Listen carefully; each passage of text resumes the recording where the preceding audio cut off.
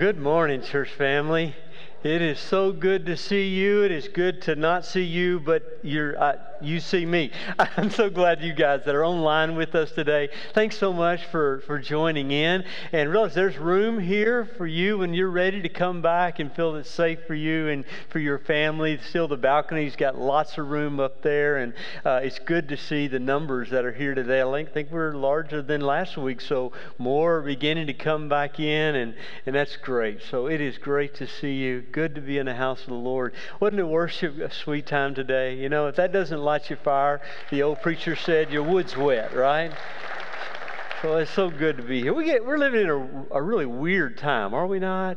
Just crazy things are happening all around us. You know, even this morning I read where a police station was broken into. They stole all the toilets, and the police have nothing to go on. That's bad. That's really bad now.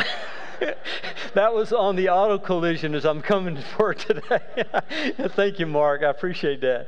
Oh, it's a, it's a strange world in which we live in. I, I hope you were with us Wednesday night as we began to talk about that dialogue with the racial tension that's all in our nation right now. And again, this coming Wednesday night, we'll do so again. I've got a pastor friend from an African American church that'll be with me, and uh, we'll get a chance to just kind of drill down deep into this and hopefully gain some insight into to things that need to change, attitudes and actions that may be in us that need to change and in our world as well. So, I don't know about you, but I don't like standing in line. Do you like standing in line?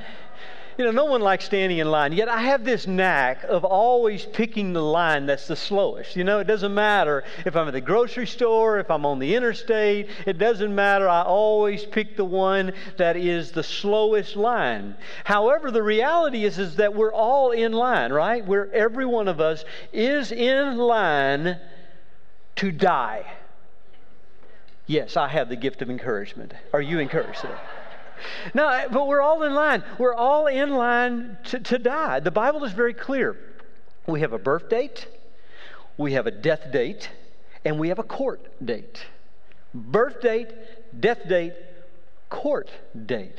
You remember what Hebrews tells us about this? And just as it is appointed for man to die once, and after that comes, say the word, judgment judgment. And that's a reality. It is woven into the fabric of our being. Somewhere deep down inside, we can deny the reality, we can ignore the reality, but we know there is a reality. We will one day give an account of our lives. Now, I think this is very significant. I think this is what plays into the pandemic panic. The pandemic panic has been greatly exasperated because of the fear of death and the uncertainty of eternity. You know, if people were confident about death and confident about eternity, they probably wouldn't have nearly as much apprehension as they have today. However, the Bible tells us that one of the primary reasons that Jesus took on flesh why he went from being the eternal uh, Word of God, Logos, and he actually embodied himself in flesh like we have, was to remove the fear of death and the uncertainty about eternity. Listen to the way Hebrews says it. Since therefore the children share in flesh and blood, children, that's us, we have flesh and blood he himself likewise partook of the same thing, that through death, his death, he might destroy the one who has the power of death, that is the devil, and deliver all those who through fear of death were subject to lifelong slavery. You see, the truth is really simple. When you're ready to die, you're ready to live. And when you've got the death thing down and the court thing down, now you're ready to really live life to the full. So I thought we ought to explore a story of Jesus that helps us to, to gain insight, incredible insight into death and to life beyond the grave. A few weeks back in our church recommended quiet time passage, we dealt with the, the story of the rich man and Lazarus. You remember that a few weeks back? We were going through that. And as I was reading that very familiar passage that morning, truths began to leap from the pages at me, and I thought, well, there's a sermon. there's a sermon. There's a sermon. There's a sermon. And so I began to see all these sermons within this one story that Jesus gave us. So I want us to take a few weeks now to kind of look at lessons from beyond the grave. Now, if you're not there yet, turn in your Bibles to Luke chapter 16. We'll begin in verse 19. Today, what I'm going to do is I'm going to give you an overview, and, and then we're going to drill down deep in just one truth, okay? So I'm going to give you an overview, and then we're going to drill down deep into one truth that I say, see leaping from this passage. Let's read the text. There was a rich man who was clothed in purple and fine linen, and who feasted sumptuously every day. And at his gate was laid a poor man named Lazarus, covered with sores, who desired to be fed with what fell from the rich man's table. Moreover, even the dogs came and licked his sores. The poor man died and was carried by the angels to Abraham's side. The rich man also died and was buried. And in Hades, being in torment, he lifted up his eyes and saw Abraham far off and Lazarus at his side. And he called out, Father Abraham, have mercy on me and send Lazarus to dip the, the end of his finger in water and cool my tongue, for I am in anguish in this flame. But Abraham said, Child, remember that in your lifetime received your good things, and Lazarus, in like manner, bad things. But now he is comforted here, and you are in anguish. Besides all this, between us and you, a great chasm has been fixed in order that those who would pass from here to you may not be able, and none may cross from there to us. And he said, Then I beg you, Father, to send him to my father's house, for I have five brothers, so that he may warn them, lest they also come into this place of torment. But Abraham said, They have Moses and the prophets. Let them hear them. And he said, No, Father Abraham, but if someone goes to them from the dead, they will repent. He said to them, If they do not hear Moses and the prophets, neither will they be convinced if someone should rise from the dead. Now, let me, let me outline the passage for you in an overview. You have two men, two destinies, and two questions. Two men, two destinies, and two questions. You have the two men. You have a rich man, you have a poor man. Look at the rich man a little bit closer here. The rich man was clothed in purple. Now, the purple that we're talking about here is not the purple of Lydia. Remember Lydia from Philippi, who was a dealer, a merchant in purple? No, it wasn't that kind of purple. This was a different kind of purple. This was the purple that came from a sea snail. I say that a lot of times. A sea snail called the murex, okay? And, inside this little sea snail, there is one tiny little drop of purple. And, and so this man would have his clothing produced by the dye that's found in this little tiny sea snail. It would take tens of thousands of these harvested from the sea, extracting the purple just to dye this man's clothing. It was the clothing of royalty. His clothes were not from Walmart either, they were from Egypt. Okay? He, he was in the finest of linen, the finest that could be purchased. We're talking about Burmese lotus flower silk cloth. Google tells me that's the most expensive uh, clothing or cloth in the world today, and Google can't be wrong, right? So we're talking about fine, fine linen. And he wore this how often? Every single day. Now let that sink in. Every single day he wore purple and this fine linen, not special events, not great celebrations, not on Sabbath worship, but every day of his life. You know, have you ever seen me on my day off? My wife looks at me, she says, You're not going to Lowe's like that, are you? and I'm like, Yeah, who cares, you know? you know? But not this man. This man, he was always in his fine linen. And then, fourth, he feasted sumptuously every day. Now, notice that it says every day he feasted sumptuously. We're talking about porterhouse steak and shrimp daily. No PB and J for him. Okay, he feasted, and then he also lived in an opulent home. An opulent home, more like a palace, because it had walls around it and it had gates where someone could be laid. That was the rich man. The poor man. The word for poor here is pokos.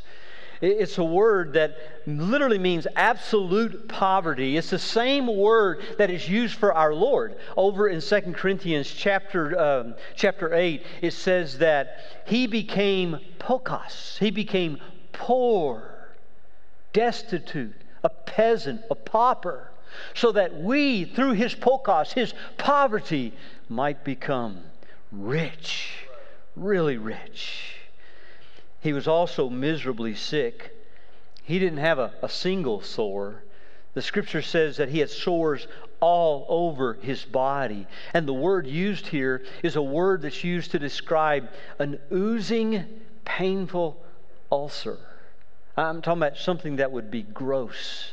And not just in one place, but all over his body. He must have been crippled as well, because the scripture says that he was laid at the rich man's gate. He didn't go and sit down himself, he didn't walk there. No, they, they, they laid him there. The word actually means they dropped him, they chunked him. They would, they would pick him up and they would take him and they'd drop him at the gate. All right, sit there for a while. That's the idea behind this. And it says that also the dogs licked his sores. Now remember, this is not friendly Fido affectionately licking the sores of the man. We're not talking about a freshly manicured French poodle. Mark, Kathy Moody back here. We're not talking about that kind of a dog there. We're talking about a dog that was not man's best friend. You know, today they're man's best friend, but not in the first century. They were ruthless, mangy, flea infested scavengers that ran in packs. So, in all actuality, these dogs were, were not only licking his sores, but but chewing at his sores. He was also extremely hungry. The scripture says that he longed to eat the food that dropped from the rich man's table. Now, now we're talking about scraps and we're talking about bread napkins. Bread napkins. Yeah. You see, in the first century, at, at a wealthy uh, celebration, they would actually, at the end of the meal, they would take bread and they would use the bread to get the residual stuff from the meal off their hands. So they would use bread and they just kind of wad it up and then they would throw it to the side. That's what we're talking about the, the bread crumbs. The servants would then kind of go around behind them and they would pick up all the breadcrumbs and all the, the scraps and they would take it and they would throw it out the gate. And it says that Lazarus desired to join the dogs. Just join the dogs in the feasting on the scraps. Now, now for a moment, when you think about these two men, which one best represents you? Yeah, me too. I, I want to think, you know, I, I sound, I'm not quite like the rich man, but I'm more like the rich man than I am the poor man. That causes me to pay very careful attention to what's coming next. The scripture says you have two men, but also you have two destinies. Both men die.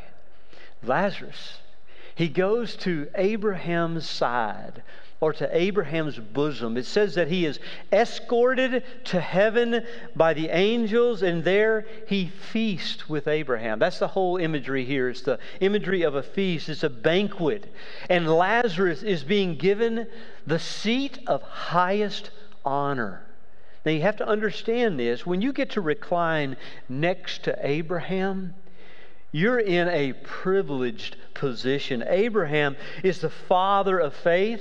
He's the father of the Jewish nation. In the mind of a Jew, there would be no greater honor to sit next to an actual person than to sit next to Abraham. It's kind of the picture of John at the Last Supper. Remember when he laid his head against the bosom, the chest of Jesus. What an honored position of affection. And here Lazarus is leaning against Abraham. Here, here's the truth Lazarus was rejected by the elite on earth, but embraced by the elite in heaven. Hmm. There's an old spiritual Negro hymn. You, you remember it? Rock of my soul in the bosom of Abraham. Rock of my soul in the bosom of Abraham. Rock of my soul in the bosom of Abraham. Oh, rock of my soul. You know, rock of my soul. Now, in reality, the, the people that are hearing this are scratching their heads. They're like, what, what is this about? According to their theology, the rich man should have been rocking his soul in the bosom of Abraham.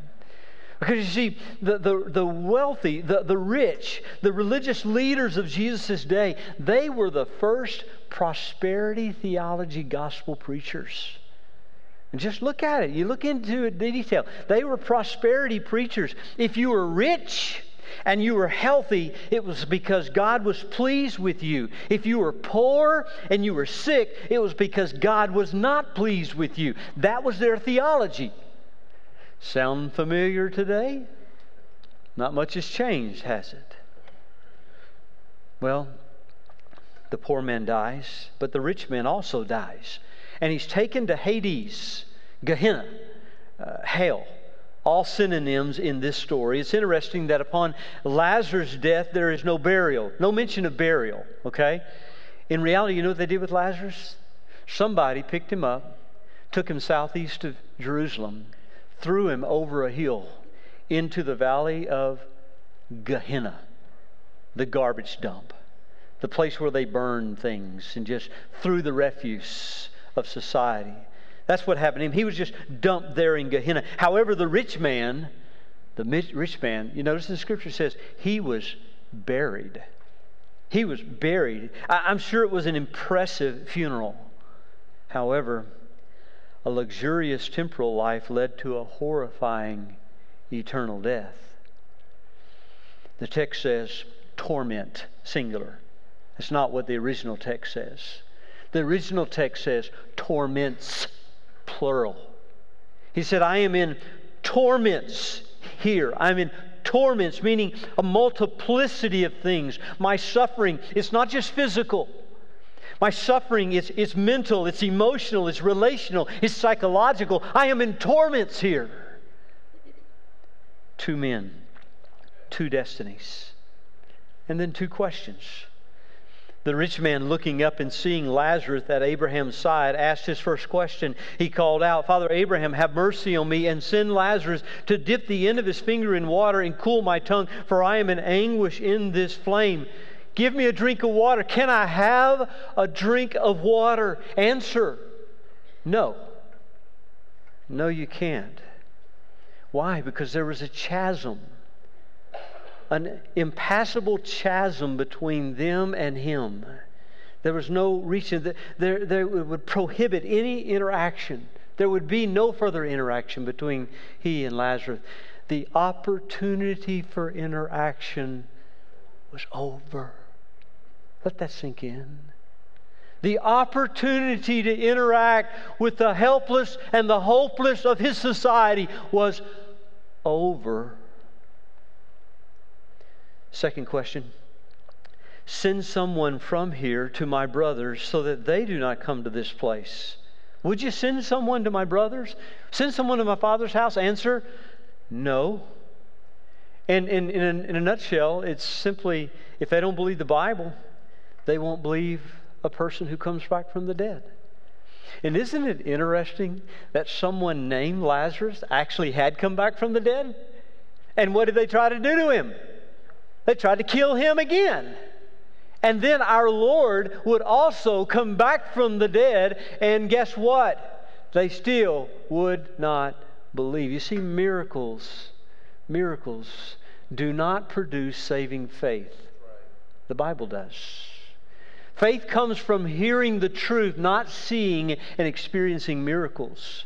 A lot of people want to experience miracles in the supernatural today. Look, that's not going to produce saving faith.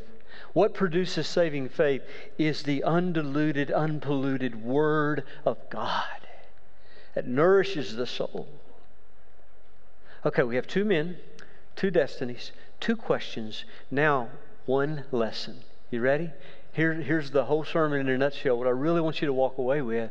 The eternal condition of your soul is best revealed in your response to the needs of others. The eternal condition of your soul is best revealed in your response to the needs of others. Now, we know that our response to the needs of others does not save us, but it is one of the greatest evidences that we are saved. You see this in the text? Now, James says that, that, that faith without works is dead, it, it's impotent, it's, it's powerless. True salvation manifests itself in true concern for the well being of others. That's what true salvation does. We become new creatures, and a part of our new nature is that we have this longing, this desire, this, this compelling to do something for the helpless and the hopeless of our society. The, the Syrian, uh, Ephraim the Syrian, commented on this story and he said, We cannot hope for pardon at the end unless the fruit of pardon can be seen in us. You know, Jesus can sometimes be confusing, can he? Now, now, just be honest. You've been confused sometimes when you read John chapter 15 about the fruit of the vine and being cut off and cast away. You've been confused whenever you've read Matthew chapter 25 about the, the, the final goats and the sheep there. It, it's sometimes confusing.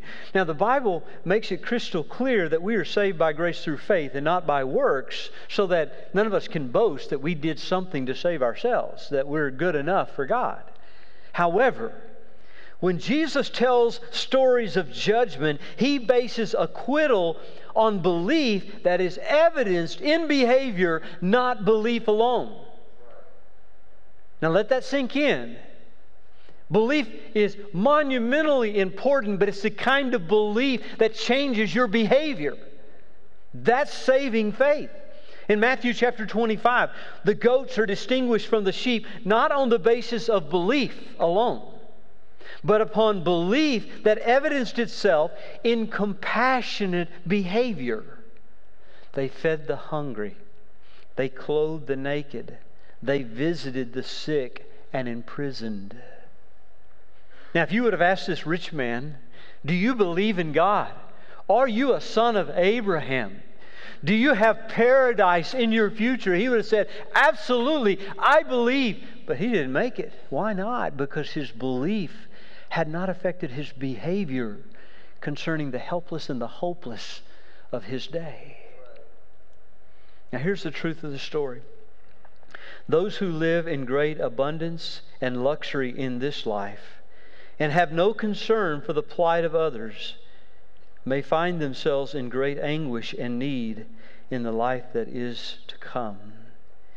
You see, one of the evidences of saving relationship with God is seen in your concern for the poor, your concern for the hurting, your concern for the helpless.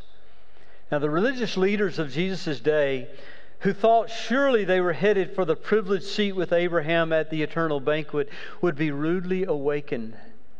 Now, to really understand this story, you have to look at this story in context. Do you realize what the context of this story is? If you go back into Matthew chapter 16, you go prior to this story, you find that Jesus has been talking about money. Money and selfish, self indulgent living. That's what he's, that, uh, you look at them. Those are the stories that precede this story money and selfish, self indulgent living. He said in chapter 16, verse 10, and following, that those who did not steward their financial wealth well. And he said that that was using their earthly wealth to make relationships that would continue into eternity. He was saying, use your financial resources in such a way that it's going to impact your welcome when you get to eternity. So you're investing it in other people, not just indulging in your own desires. The religious leaders they heard this statement, and the scripture says that they ridiculed him. That means they made fun of him. They're like, What are you talking about? That is the stupidest thing we've ever heard. To take our money and use it to benefit other people? You know, for me to take my funds and help the, the helpless and the hopeless of my day, eh, see, they equated their riches, they equated their health as evidence of God's blessing. They said, Well, look at me. God is blessing me. I am rich. I'm dressed in all these nice clothes. I have these ni- this nice home. I have this state of the art camel. You know, I've got everything. They would have laughed at him. They said that his teachings were ridiculous. Look at verse 15. Jesus responds. He says, You are those who justify yourselves before men, but God knows your heart. For what is exalted among men is an abomination in the sight of God. Boy, anytime you see the word abomination, you need to pay very close attention. Especially when God calls something an abomination, you want to go, uh oh, okay, let's make sure we know what God considers an abomination. So he says here, what is exalted among men is an abomination before God. What men get excited about, what men focus their energy on, what men talk about, what they long for. What is that? Money, power, positions, pleasure, opulent houses, fine clothes, lofty ambitions, mammoth portfolios, luxurious vacations. That's what people exalt. And what does Jesus call it? An abomination in the sight of God. Who? Now, is Jesus saying that these things are, are wrong in and of themselves? Absolutely not. Because remember who it was that Lazarus went to be with? Abraham. Was Abraham a pauper?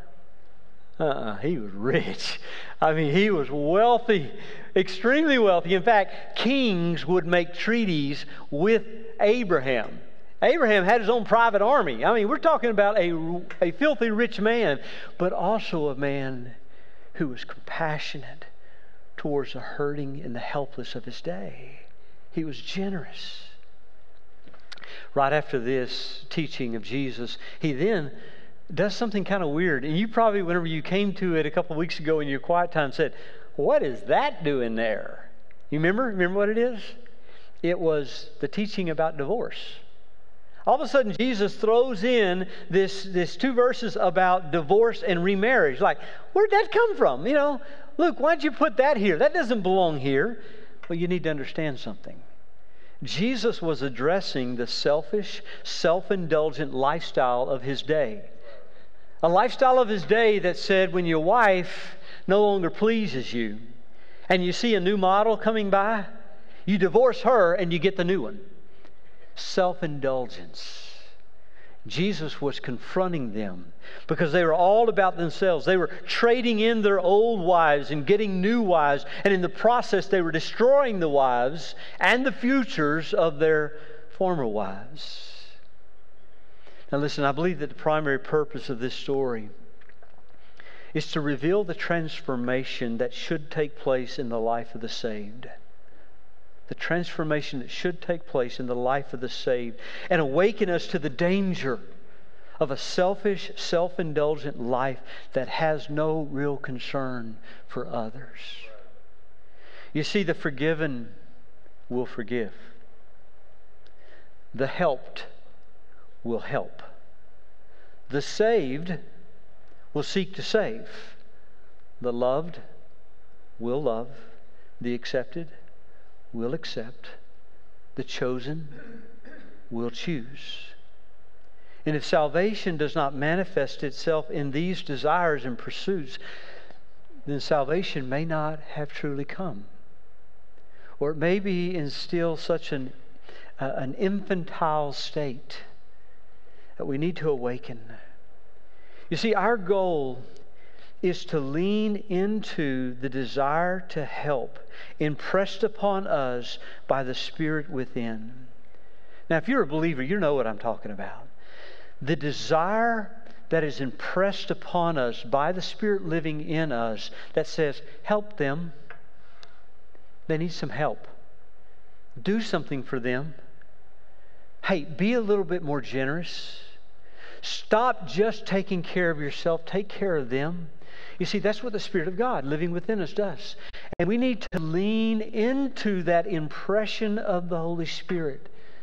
Now, listen to me. Don't talk yourself out of helping, caring, and loving. Ever happen? Happens to me all the time. I feel prompted by the Spirit to do something, and then I start talking myself out of it. Well, they're, they're there and they're in that situation. It's their own fault. I, I'm not responsible.